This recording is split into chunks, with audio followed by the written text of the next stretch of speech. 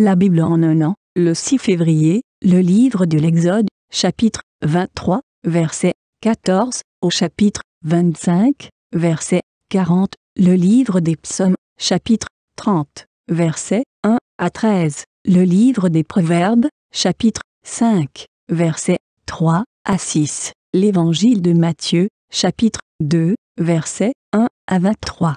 Exode, chapitre 23 Trois fois par année, tu célébreras des fêtes en mon honneur.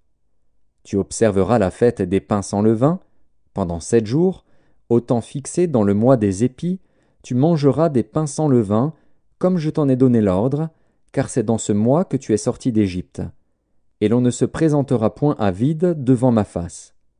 Tu observeras la fête de la moisson, des prémices de ton travail, de ce que tu auras semé dans les champs, et la fête de la récolte à la fin de l'année, quand tu recueilleras des champs le fruit de ton travail. Trois fois par année, tous les mâles se présenteront devant le Seigneur, l'Éternel. Tu n'offriras point avec du pain levé le sang de la victime sacrifiée en mon honneur, et sa graisse ne sera point gardée pendant la nuit jusqu'au matin. Tu apporteras à la maison de l'Éternel, ton Dieu, les prémices des premiers fruits de la terre. Tu ne feras point cuire un chevreau dans le lait de sa mère. Voici, j'envoie un ange devant toi, pour te protéger en chemin, et pour te faire arriver au lieu que j'ai préparé. Tiens-toi sur tes gardes en sa présence, et écoute sa voix. Ne lui résiste point, parce qu'il ne pardonnera pas vos péchés, car mon nom est en lui.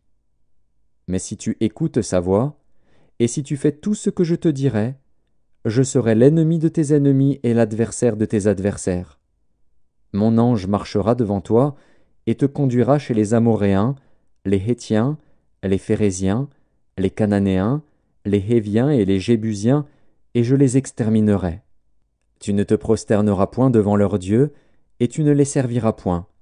Tu n'imiteras point ces peuples dans leur conduite, mais tu les détruiras, et tu briseras leurs statuts. Vous servirez l'Éternel, votre Dieu, et il bénira votre pain et vos eaux, et j'éloignerai la maladie du milieu de toi. Il n'y aura dans ton pays ni femme qui avorte, ni femme stérile. Je remplirai le nombre de tes jours. J'enverrai ma terreur devant toi, je mettrai en déroute tous les peuples chez lesquels tu arriveras, et je ferai tourner le dos devant toi à tous tes ennemis. J'enverrai les frelons devant toi, et ils chasseront loin de ta face les Héviens, les Cananéens et les Hétiens.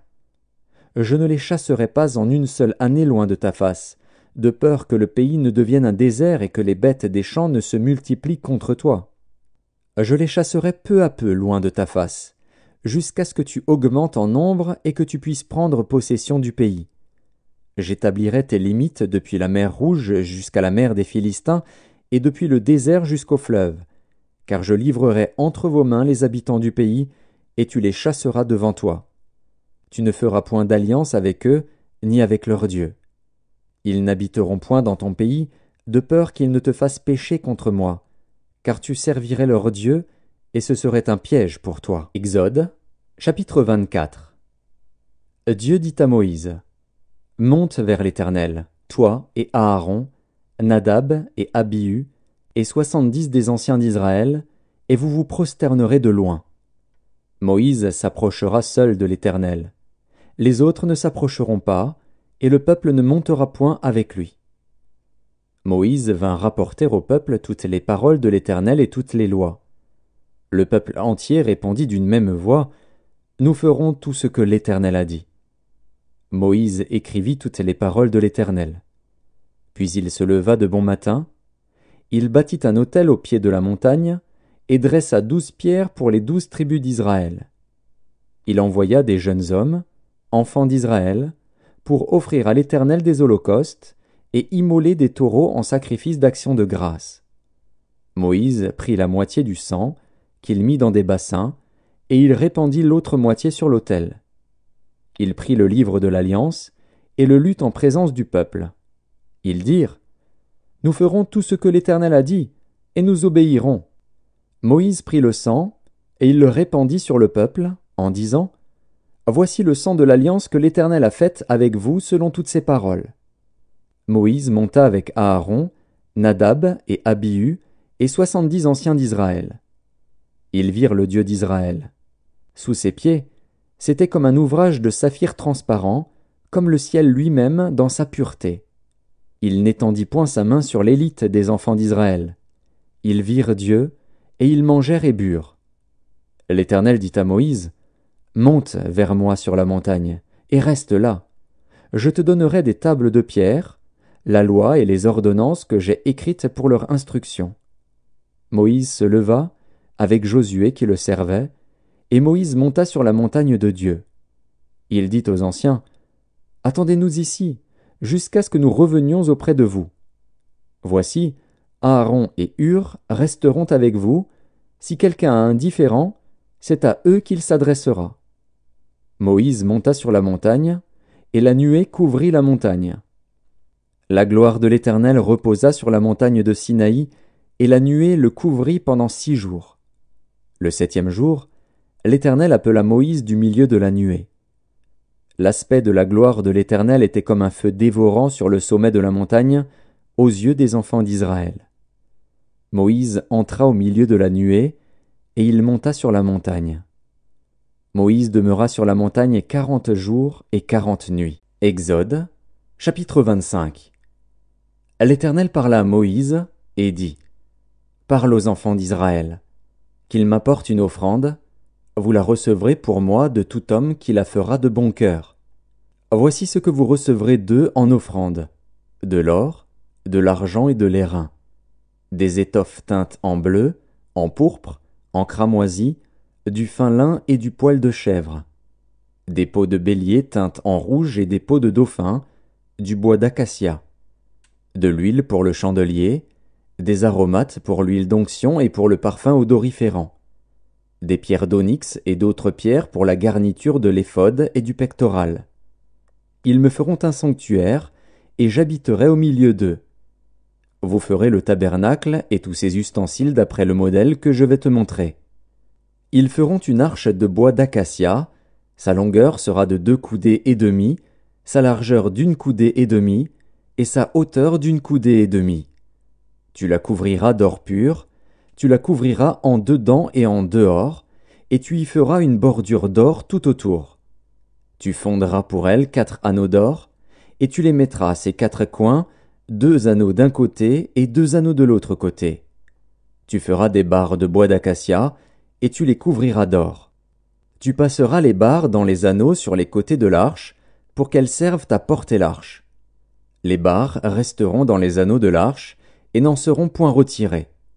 Tu mettras dans l'arche le témoignage que je te donnerai. Tu feras un propitiatoire d'or pur. Sa longueur sera de deux coudées et demi, et sa largeur d'une coudée et demie. Tu feras deux chérubins d'or, tu les feras d'or battu, aux deux extrémités du propitiatoire. Fais un chérubin à l'une des extrémités et un chérubin à l'autre extrémité. Vous ferez les chérubins sortant du propitiatoire à ces deux extrémités. Les chérubins étendront les ailes par-dessus, couvrant de leurs ailes le propitiatoire, et se faisant face l'un à l'autre. Les chérubins auront la face tournée vers le propitiatoire. Tu mettras le propitiatoire sur l'arche, et tu mettras dans l'arche le témoignage que je te donnerai. C'est là que je me rencontrerai avec toi, du haut du propitiatoire, entre les deux chérubins placés sur l'arche du témoignage, je te donnerai tous mes ordres pour les enfants d'Israël. Tu feras une table de bois d'acacia, sa longueur sera de deux coudées, sa largeur d'une coudée, et sa hauteur d'une coudée et demie. Tu la couvriras d'or pur, et tu y feras une bordure d'or tout autour. Tu y feras à l'entour un rebord de quatre doigts, sur lequel tu mettras une bordure d'or tout autour. Tu feras pour la table quatre anneaux d'or, et tu mettras les anneaux aux quatre coins, qui seront à ses quatre pieds. Les anneaux seront près du rebord, et recevront les barres pour porter la table. Tu feras les barres de bois d'acacia, et tu les couvriras d'or, et elles serviront à porter la table. Tu feras ses plats, ses coupes, ses calices et ses tasses, pour servir aux libations. Tu les feras d'or pur. Tu mettras sur la table les pains de proposition continuellement devant ma face. Tu feras un chandelier d'or pur, ce chandelier sera fait d'or battu, Son pied, sa tige, ses calices, ses pommes et ses fleurs seront d'une même pièce. Six branches sortiront de ses côtés, trois branches du chandelier de l'un des côtés, et trois branches du chandelier de l'autre côté. Il y aura sur une branche trois calices en forme d'amande, avec pommes et fleurs, et sur une autre branche trois calices en forme d'amande, avec pommes et fleurs. Il en sera de même pour les six branches sortant du chandelier. À la tige du chandelier, il y aura quatre calices en forme d'amande, avec leurs pommes et leurs fleurs. Il y aura une pomme sous deux des branches sortant de la tige du chandelier, une pomme sous deux autres branches, et une pomme sous deux autres branches. Il en sera de même pour les six branches sortant du chandelier. Les pommes et les branches du chandelier seront d'une même pièce, il sera tout entier d'or battu, d'or pur.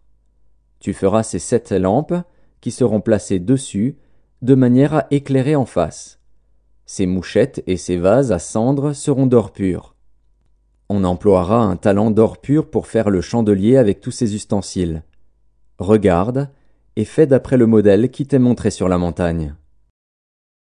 Psaume 30 Psaume, cantique pour la dédicace de la maison de David. Je t'exalte, ô Éternel, car tu m'as relevé. Tu n'as pas voulu que mes ennemis se réjouissent à mon sujet. Éternel mon Dieu, j'ai crié à toi et tu m'as guéri. Éternel, tu as fait remonter mon âme du séjour des morts. Tu m'as fait revivre loin de ceux qui descendent dans la fosse. Chantez à l'Éternel, vous qui l'aimez, célébrez par vos louanges sa sainteté. Car sa colère dure un instant, mais sa grâce toute la vie. Le soir arrivent les pleurs, et le matin l'allégresse. Je disais dans ma sécurité, je ne chancellerai jamais. Éternel, par ta grâce, tu avais affermi ma montagne, tu cachas ta face et je fus troublé. Éternel, j'ai crié à toi, j'ai imploré l'Éternel. Que gagnes-tu à verser mon sang, à me faire descendre dans la fosse? La poussière a-t-elle pour toi des louanges? Raconte-t-elle ta fidélité? Écoute, Éternel, aie pitié de moi. Éternel, secours-moi. Et tu as changé mes lamentations en allégresse, tu as délié mon sac, et tu m'as ceint de joie, afin que mon cœur te chante et ne soit pas muet. Éternel mon Dieu, je te louerai toujours. Livre des Proverbes, chapitre 5 car les de l'étrangère distillent le miel, et son palais est plus doux que l'huile, mais à la fin elle est amère comme l'absinthe, aiguë comme un glaive à deux tranchants. Ses pieds descendent vers la mort, ses pas atteignent le séjour des morts, afin de ne pas considérer le chemin de la vie. Elle est errante dans ses voies, elle ne sait où elle va. Matthieu, chapitre 2 Jésus étant né à Bethléem en Judée, au temps du roi Hérode, Voici, des mages d'Orient arrivèrent à Jérusalem et dirent Où est le roi des Juifs qui vient de naître? Car nous avons vu son étoile en Orient, et nous sommes venus pour l'adorer. Le roi Hérode, ayant appris cela, fut troublé, et tout Jérusalem avec lui. Il assembla tous les principaux sacrificateurs et les scribes du peuple, et il s'informa auprès d'eux où devait naître le Christ. Ils lui dirent à Bethléem, en Judée, car voici ce qui a été écrit par le prophète. Et toi, Bethléem, terre de Juda, tu n'es certes pas la moindre entre les principales villes de Juda, car de toi sortira un chef qui pètera Israël, mon peuple. Alors Hérode fit appeler en secret les mages et s'enquit soigneusement auprès d'eux depuis combien de temps l'étoile brillait. Puis il les envoya à Bethléem en disant Allez, et prenez des informations exactes sur le petit enfant. Quand vous l'aurez trouvé, faites-le moi savoir, afin que j'aille aussi moi-même l'adorer. Après avoir entendu le roi, ils partirent. Et voici l'étoile qu'ils avaient vue en Orient marcher devant eux jusqu'à ce qu'étant arrivée au-dessus du lieu où était le petit enfant, elle s'arrêta. Quand ils aperçurent l'étoile, ils furent saisis d'une très grande joie. Ils entrèrent dans la maison, virent le petit enfant avec Marie, sa mère, se prosternèrent et l'adorèrent. Ils ouvrirent ensuite leur trésor et lui offrirent en présent de l'or, de l'encens et de la myrrhe. Puis, divinement avertis en songe de ne pas retourner vers Hérode, ils regagnèrent leur pays par un autre chemin. Lorsqu'ils furent partis, voici, un ange du Seigneur apparut en songe à Joseph et dit, Lève-toi, prends le petit enfant et sa mère et fuis en Égypte, et reste-y jusqu'à ce que je te parle, car Hérode cherchera le petit enfant pour le faire périr. Joseph se leva, prit de nuit le petit enfant et sa mère, et se retira en Égypte. Il y resta jusqu'à la mort d'Hérode, afin que s'accomplisse ce que le Seigneur avait annoncé par le prophète, J'ai appelé mon fils hors d'Égypte. Alors Hérode, voyant qu'il avait été joué par les mages, se mit dans une très grande colère, et il envoya tuer tous les enfants de deux ans et au-dessous qui étaient à Bethléem et dans tout son territoire, selon la date dont il s'était soigneusement enquis auprès des mages. Alors s'accomplit ce qui avait été annoncé par Jérémie le prophète. On a entendu des cris à Rama, des pleurs et de grandes lamentations. Rachel pleure ses enfants et n'a pas voulu être consolée, parce qu'ils ne sont plus. Quand Hérode fut mort, voici, un ange du Seigneur apparut en songe à Joseph en Égypte. Il lui dit, Lève-toi, prends le petit enfant et sa mère, et va dans le pays d'Israël, car ceux qui en voulaient à la vie du petit enfant sont morts. Joseph se leva, prit le petit enfant et sa mère, et alla dans le pays d'Israël. Mais, ayant appris qu'Archélaüs régnait sur la Judée à la place d'Hérode, son père, il craignit de s'y rendre et, divinement averti en songe, il se retira dans le territoire de la Galilée. Il vint demeurer dans une ville appelée Nazareth, afin que s'accomplît ce qui avait été annoncé par les prophètes, il sera appelé Nazaréen.